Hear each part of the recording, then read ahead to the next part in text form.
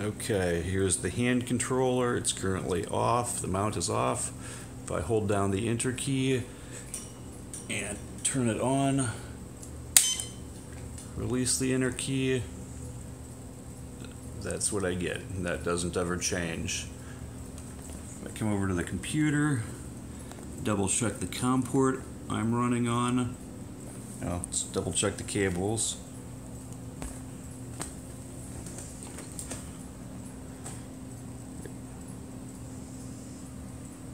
Plugged in.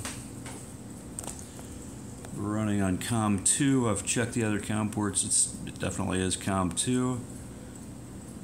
Then run the upgrade utility.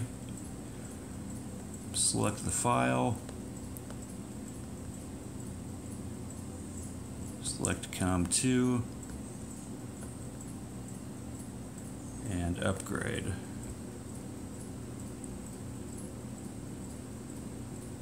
Error occurs. That's all I ever get.